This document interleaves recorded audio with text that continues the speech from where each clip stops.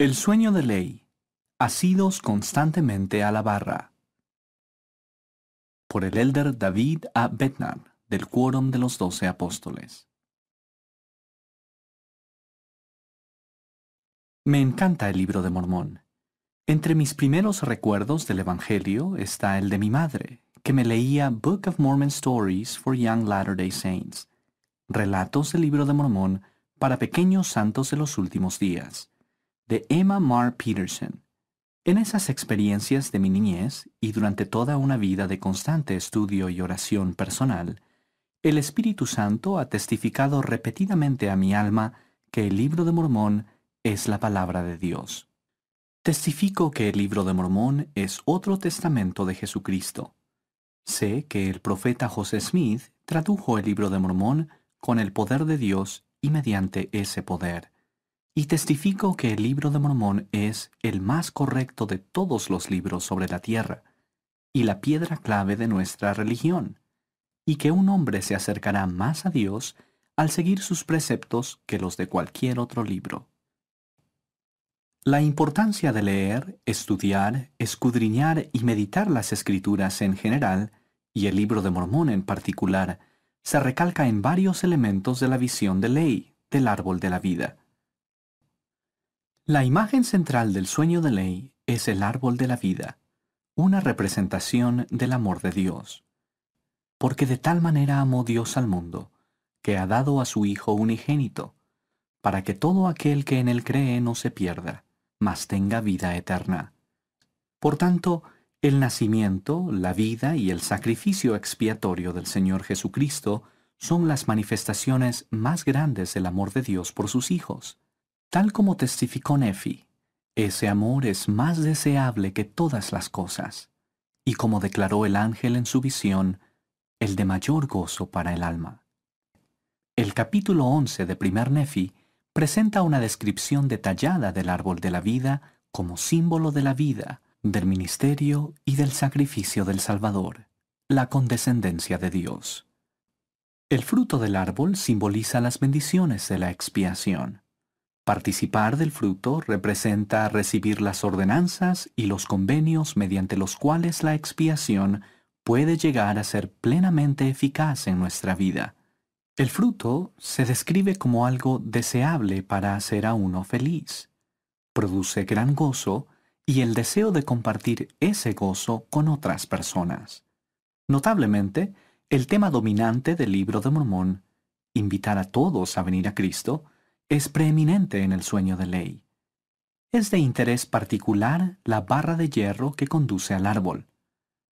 La barra de hierro es la palabra de Dios. El padre Ley vio a cuatro grupos de personas en su visión. Tres de los grupos avanzaban por el sendero estrecho y angosto tratando de llegar al árbol y a su fruto. El cuarto grupo no iba en busca del árbol. En cambio, deseaba que su destino final fuera el edificio grande y espacioso. En 1 Nefi, capítulo 8, versículos 21 al 23, aprendemos acerca del primer grupo de personas que avanzaron y comenzaron a recorrer el sendero que conducía al árbol de la vida. No obstante, al encontrarse con los vapores de tinieblas, que representan las tentaciones del diablo, perdieron el rumbo, se apartaron del camino y se extraviaron. Nótese que en esos versículos no se hace ninguna mención a la barra de hierro. Los que no hacen caso de la palabra de Dios o la tratan como cosa ligera, no tienen acceso a esa brújula divina que señala el camino hacia el Salvador. Tengan en cuenta que ese grupo entró al sendero y avanzó, lo cual mostró una medida de fe en Cristo y una convicción espiritual, pero fueron desviados por las tentaciones del diablo y se perdieron.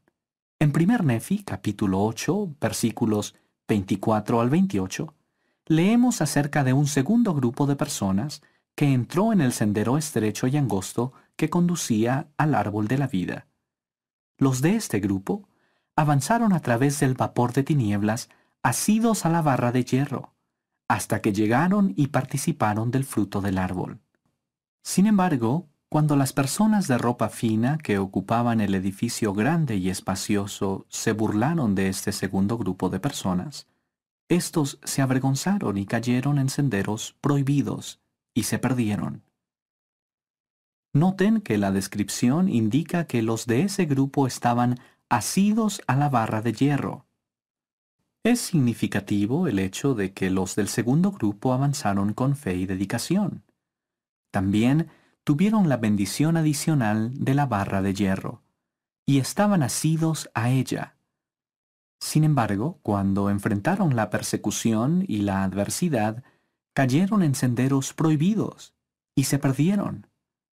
Aún con fe, dedicación y la palabra de Dios, los de ese grupo al final se perdieron.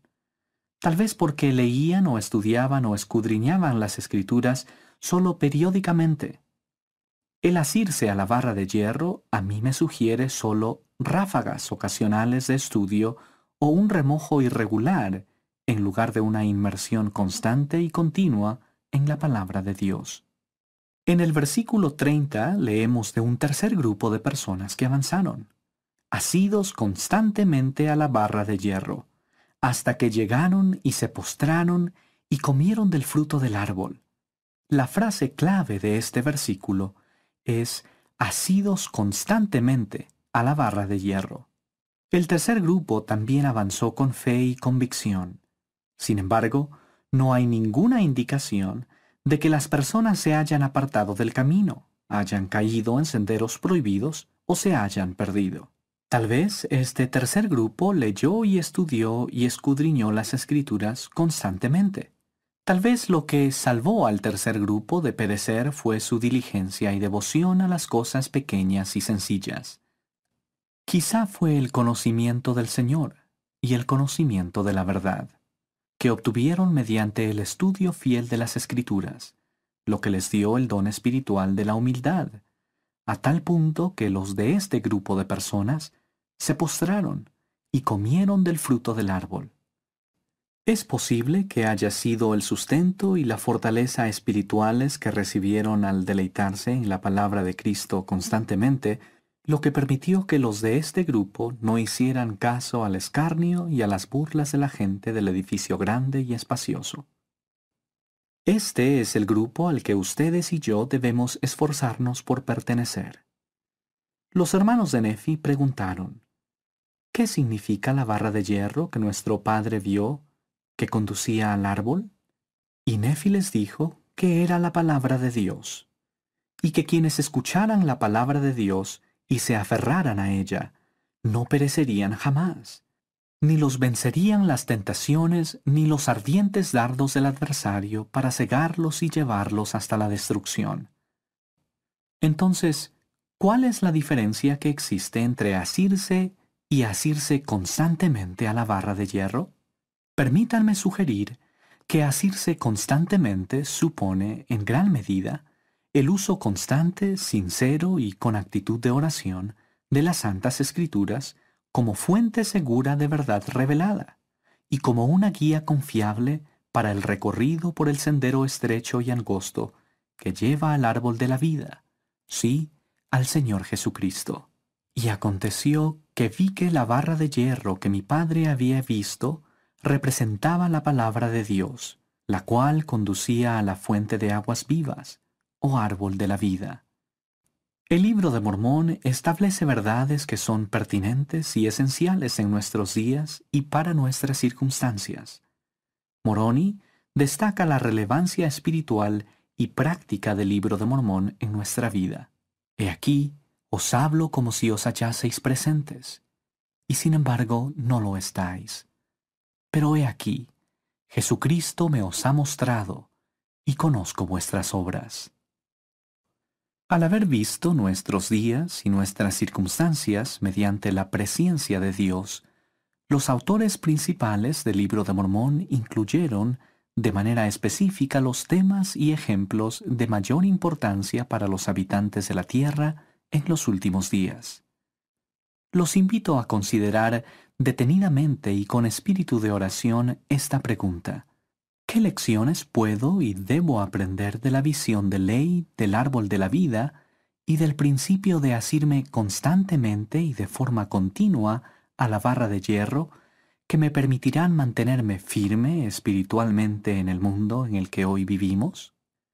Al esforzarse diligentemente y buscar inspiración para contestar esta importante pregunta, llegarán a comprender más plenamente, por el poder del Espíritu Santo, tanto en el corazón como en la mente, la importancia de asirse constantemente a la barra de hierro, y recibirán la bendición de poder aplicar esas lecciones con fe y diligencia en su vida individual y en su hogar. Ruego que todos tengamos ojos para ver y oídos para oír lecciones adicionales de la visión de ley que nos ayuden a seguir adelante con firmeza en Cristo, teniendo un fulgor perfecto de esperanza y amor por Dios y por todos los hombres.